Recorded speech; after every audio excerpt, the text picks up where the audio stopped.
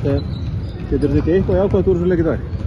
Um, eitthvað jákvægt segir Hérna, við vorum góðir í vörn, hér og þar.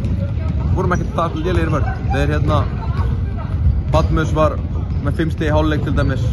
Þeir svona áttu alveg að erfileikum hér og þar með að finna körfur skilur og við fengum fullt að tækifærum svona á opnum velli að, ná þessu niður í jafnanleik. Þannig að já, við vorum fínir í vörn. Það var sóknin ekkert sérlega góð, við vorum með afleitað skotið við byrja með það, aðeins bætt út úr því. Hvað, hvað ótti því?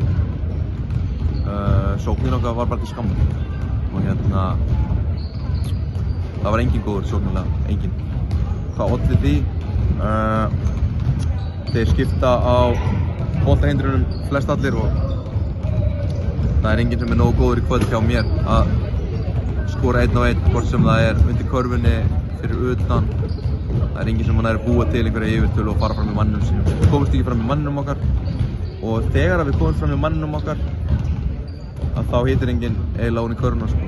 Ég held að þetta hafi svolítið summerað upp sko, leikin okkar þegar við erum áttastegum undir. Prjóna sig inn í miðuna, sendir boltan út í hotn á Dijon sem að skýtur airból galopin. Maður bara eitthvað svona, þú veist, hvað getum við gert?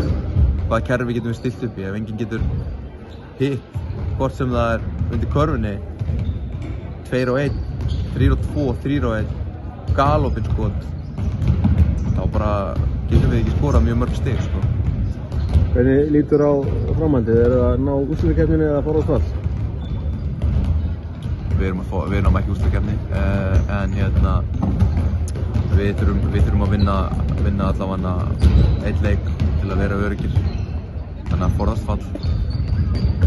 Þið ætla að ná því vantarlega? uh, Blikarnir eru búin að vera óþægilega nálægt í að vinna og nærði heldur en við. Á móti betri liðum heldur en við. Og veist, ég ætla að segja betri að því að kannin þeirra spilar 14 mínútur í dag til dæmis, skilur við, þannig að hérna